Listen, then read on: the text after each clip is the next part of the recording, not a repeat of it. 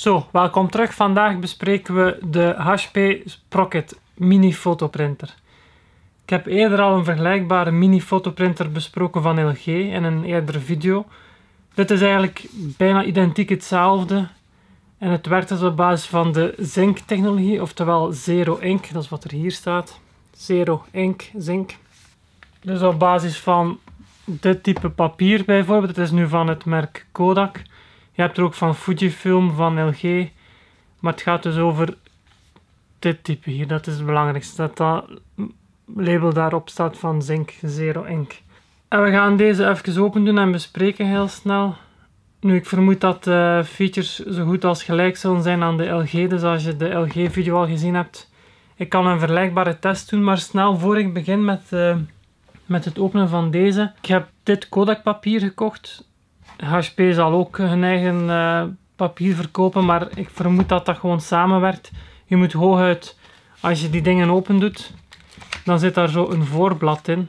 Wacht, ik heb hier normaal eentje wat open is.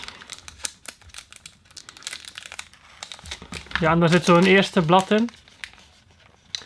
En dat is volgens mij wat dat aan de printer aangeeft welk type papier en dergelijke meer. Dus dit is nu vermoed ik specifiek voor Kodak, omdat dat bij Kodak papier zit, bij Kodak branded zinkpapier. Maar ik vermoed dat als je dat wisselt met eentje van HP, dat dat gewoon samenwerkt. We zullen straks de test doen. De reden dat ik dit Kodak papier al gekocht heb, is omdat ik eigenlijk zo'n printertje had gezien van Kodak. Waarbij er al een camera ingebouwd was. Dus dan heb je dergelijke printer, maar ook nog een lens. En een knop om af te drukken. Dat was het, niks meer, geen scherm of zo. Alleen bleek dat die geen wifi capaciteit of geen, geen wifi of bluetooth verbinding had. Dus ik kon niet vanaf je smartphone printen, wat dat voor mij wel een belangrijke feature was. Dan heb ik die eerst nog geruild voor een andere Kodak variant, waarmee dat je ook foto's kon nemen, maar wel ook bluetooth functionaliteit had. Alleen bleek dan daarop dat dat met bepaalde cassettes werkt. En ook de printer van Kodak, die geen camera bevat, die, die enkel voor te printen is, dus dit type had ook bepaalde cassettes die dus op een andere manier werken. Meer vergelijkbaar met de Canon Selfie reeks, voor het geval dat je daarmee vertrouwd zou zijn. En als het, uh, de kwaliteit, ja, nog een nadeel van die Kodak implementatie was, de, de kwaliteit was heel slecht. Het is een voorbeeld van een foto. Dus je ziet, ik had niet veel verwacht van de foto en de, de, de camera die erop zit, dus om foto's te nemen met de printer zelf eigenlijk, daar had ik sowieso niet veel van verwacht, maar het is duidelijk een uh, ja, gsm-kwaliteit, maar dan echt wel gsm van uh, vijf jaar terug. Dus dit was een voorbeeld van een foto. En dit was een voorbeeld van een foto. Hier is zelf de focus niet goed, dus was het onderwerp te dicht. En dan heb ik ook nog gezien dat dit papier blijkbaar uh, een klevende achtergrond heeft. Dus optioneel kan je die gebruiken om te kleven ook. Laten we snel eens kijken wat er in deze verpakking allemaal zit, maar ik vermoed een printer en een paar vellen papier. Oké, die schaar is een beetje te groot voor wat ik ermee wil doen. Ik heb in een eerdere video al uitgelegd dat ik geen unboxing doe. Dit is een van de redenen dat ik geen unboxing video's doe. Blijkbaar is het openmaken van een doosje niet altijd even dan.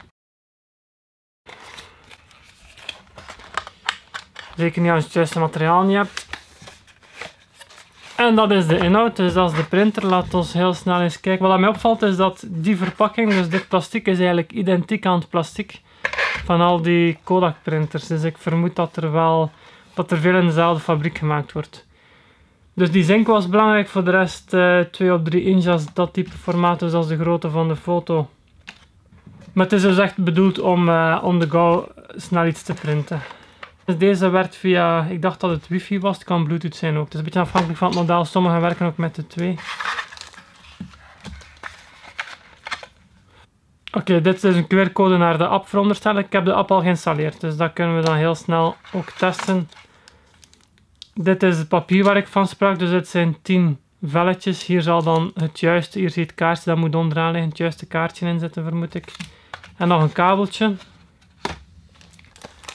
De printer zelf, het is de witte. Je hebt hem in zwart en het roze of in het rood was. En in het wit. Ze hadden enkel nog de witte. Anders had ik de zwarte genomen, denk ik. De vraag is, hoe gaat het ding open? Dit is een aan-uit knop. Typisch zit daar een batterij in ingebouwd, zodat je die on the go echt kunt gebruiken. En dat kabeltje zal voor het opladen van de batterij zijn. Dit is een soort van koperachtige look. Ik weet niet wat dat op de camera goed te zien is, maar dat is een soort van koper wat je hier ziet. Ik moet die vooral open krijgen nu. Geen idee. Het lijkt erop dat dat hier zo open moet kunnen. Snel even in de handleiding kijken. Alleen maar tekst. Geen afbeeldingen.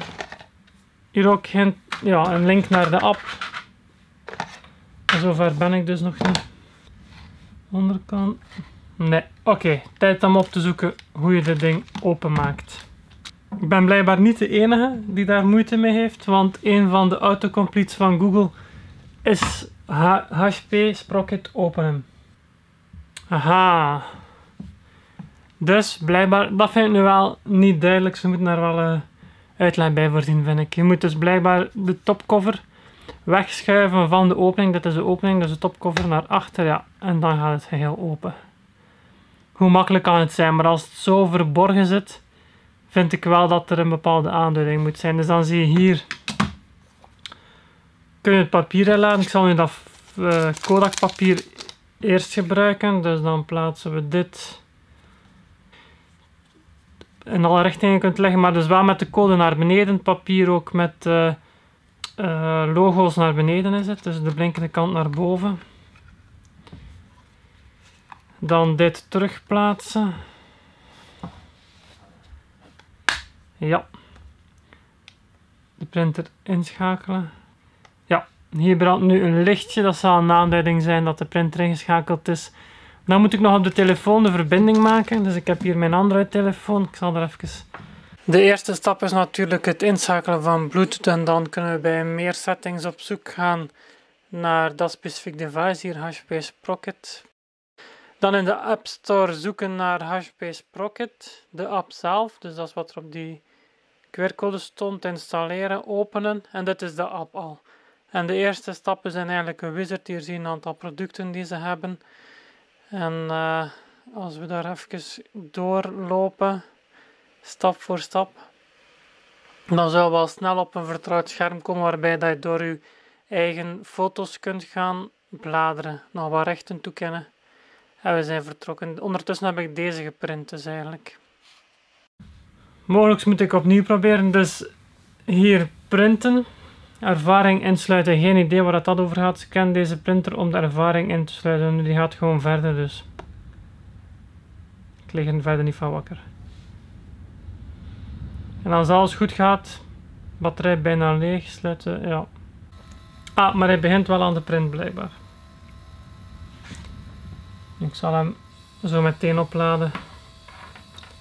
Er is nog een degelijk kabeltje dat erbij geleverd is blijkbaar.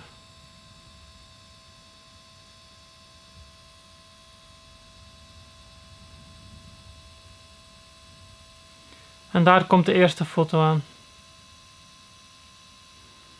Dus zoals je ziet, de kwaliteit van de foto is zeker niet mis. Het probleem wat ik bij die eerdere foto's waar ik hiervan sprak, is meer het probleem van de camera die ingebouwd is op die andere types. Wat je ziet. Alleen de kleurreproductie hier op deze, het is een beetje dit zou eigenlijk betongrijs moeten zijn. Het komt een beetje meer rozen over. Dus dat was de eerste foto. Met de HP Sprocket fotoprinter. Zo, dat was het. Bedankt voor jullie aandacht en tot de volgende.